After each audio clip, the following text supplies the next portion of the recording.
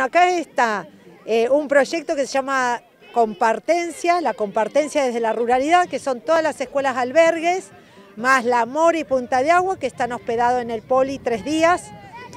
Eh, ayer tuvimos las actividades, fogón, hoy reunimos a todas las escuelas del centro con el Todo Juegan, de acá a Alvear, para que eh, hagan la compartencia, compartan con los chicos de las escuelas albergues, que compartan con chicos de distintas zonas, de distintas escuelas y que sea un espacio de aprendizaje a través de lo lúdico, ¿no? que es el juego. Por eso van a ver que hay estaciones por ahí eh, con cuentas o con letras, porque desde todas áreas se han propuesto juegos. La compartencia lo iniciamos en el 2017, la tuvimos que suspender por la pandemia, pero la continuamos y el Todo Juegan, bueno, fue un proyecto iniciado hace muchos años, cuando estaba el supervisor Carlos Ríos, y lo retomamos y lo acrecentamos por eh, extenderlo en el territorio, ¿no? Tuvimos en Villatuel, en Boven, en Alvear Oeste y hoy acá en Alvear. Tiene que ver con la convivencia, ¿no? Entender que el otro es distinto,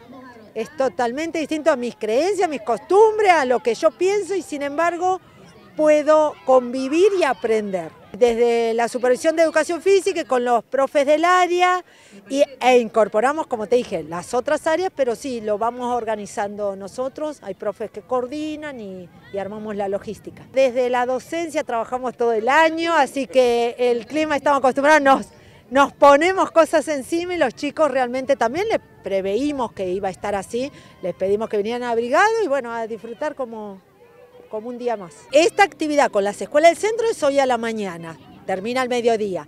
Y después continuamos, a la tarde vamos, que nos espera la escuela José Mármol en el Museo de la Olla.